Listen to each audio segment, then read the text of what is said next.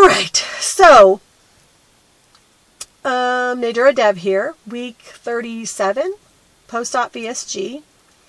Started my journey last July at 230 as my highest weight recorded. I have a feeling I was higher, but I'm, that's the recorded weight I'm going with. Um, had my surgery on um, August 6, 2012.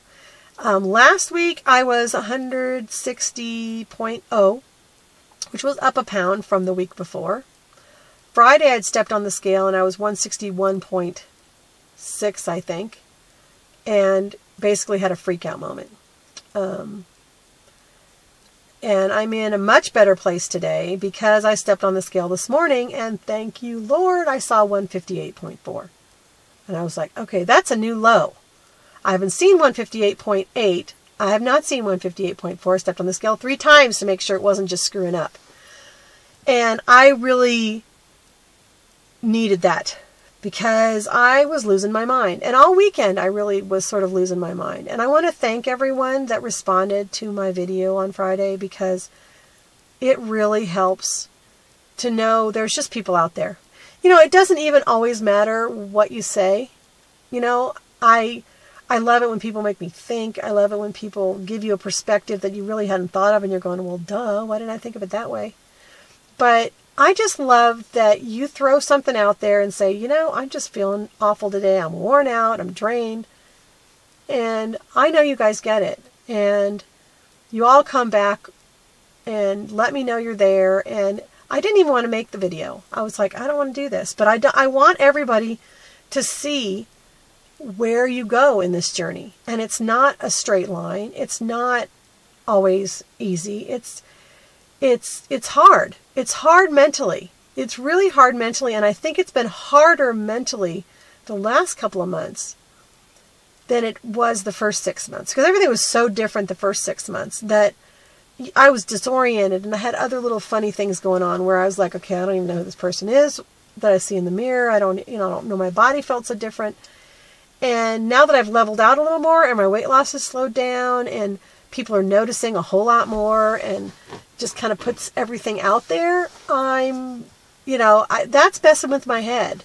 And then Friday, having seen like a three pound gain from the week before, really made me feel um, all of those doubts that are right under the surface came flushing to the surface. The whole, I'm never going to get to my goal weight. Uh, I'm going to gain all my weight back. No matter what I do, I just can't. I'm doing it. I didn't do anything any different. So why is it different? That feeling came back. And that was the feeling I'd had so many times before because I've never been a yo-yoer. Um, I've always been one that just couldn't get the weight to go down. So it kept going up. And I might get it to go down a little bit to a point and then it would never go any further or it would come right back up again. And but it never was very much to begin with. So I felt all those familiar doubts and that just sinking feeling that you have. Had a lot going on, and I think this journey can be really draining sometimes. And I think there was a couple of people that used the analogy. I think it was Pinkfish Lily and VSG Tanya that both had this thing like, like relating to their lives like like a CNN, you know, screen where the main stories are the big pictures that you see going on and the talking in the background. But then there's always this little ticker tape running along the bottom. And that ticker tape running along the bottom is my busy brain who's worrying about how many calories have I had, where how much protein, how much water, where are my carbs at, did I exercise today, blah blah all the things that I have to think about. And and then all I've got a few more screens popping up because meet season started this weekend for my girls, and that brings up a whole nother layer of anxiety because I have a social anxiety. Um, people who know me and see me on a daily basis would never guess I have a social anxiety because I can pretty much talk to anybody about anything. And I can put on the good face. I think I learned that growing up military and Catholic. You just you got to look the part. So I can put the face on, but what's going on underneath often is very anxious. And especially this year, I think it was a little more anxiety producing because I knew a lot of these people hadn't seen me for months and they would notice and I would sort of people are starting to call me on it more now and really ask me, "So what did you do?" Okay, you didn't just lose a few pounds and get a few pounds off. You're making some serious changes here. What did you do? And at this point, I'm telling them, you know, I made a lot of changes in my diet and I changed everything, but basically, what was the big key was the weight loss surgery. And I've not had a negative reaction yet. Um, I've had people kind of give me funny looks, but I, don't know how to interpret them. But for the most part, they're all like, wow, one gal, yes, uh, it was really kind of nice on Saturday because she was like, oh, I had a friend next door, or a friend next door who, who did that, and she looks so good and she feels so good. She says, do you just feel awesome right now? You know, you look awesome. You know, so it was really, it was a positive interaction with somebody that really I never reacted, interacted with much because there's a lot of girls on this team.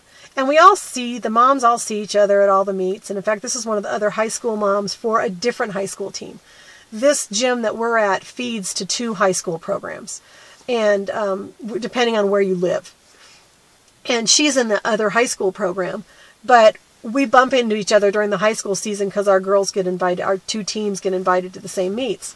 And I've known her from before that because we'd be at the Cara meets together. Are these, they're, you know, it's the Colorado Area Recreational Association, I think. And it's the league that the league meets that we're having now, and then there's the high school season is in the fall. It's a whole different story, but it's just the same circle of women I've known forever, and I kind of knew people would notice and say things that made me nervous. So there was like a whole nother level of anxiety on top of just the normal stuff. You know, because then I'm anxious for my daughter because she has all these things she wants to do. This is her last Cara season. My older daughter is her last Cara season. And then this fall will be her last high school season. And she's been doing gymnastics for 10 years. So she's got lots of goals this year. And big goals. I mean, all of a sudden, she's like on fire trying to get all these things because the pressure's on for her being one of the top girls now. They need her score. Um, and this meet was an, a team meet. Most of the Cara meets are just individual. It's your score. You're not as a team. I mean, we're there as a team, but it's more about how you do and what your score is compared to the score you had last time. Everybody competes on everything and everybody gets a score. And they have awards at the end and stuff like that for the all all the four apparatuses and all of the all around.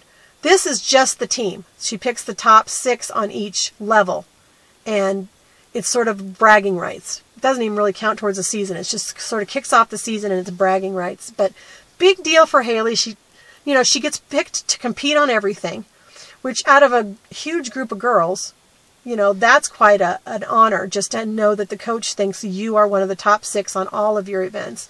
And, but then that puts the pressure on. Okay, she thinks I can do this. She's got me up on the top. I need to pull it off. And she did on two things, but not on two others. So you're like, all right, you know, her two week events were awesome. Best scores, you know, way up there for her highest scores. The other two kind of fell apart, but that's all right. You know, we made progress, but that tension is there too. You know, I know it's about her. But with my kids, and especially in the gymnastics, even with kids that I've just watched do gymnastics, all her friends and things, I'm like on the floor with them. I feel it with them. I w- you want them to have that validation that all their hard work paid off. It's kind of the same thing we need for weight loss surgery. We just want a crumb. Just give us a crumb that lets us know we all of the work that we've done is not in vain. So that's where I'm at this week. A lot of stuff going on. But I'm back in a better place now, thanks to you guys and all my new subscribers. And, um, you know, keep the comments coming because they really do a lot for me to keep me thinking and keep me on track and not let me fall back, my brain fall back. It's not even so much my eating habits falling back, it's my brain falling back into bad habits. So that's it for this week, and I'll talk to you guys later.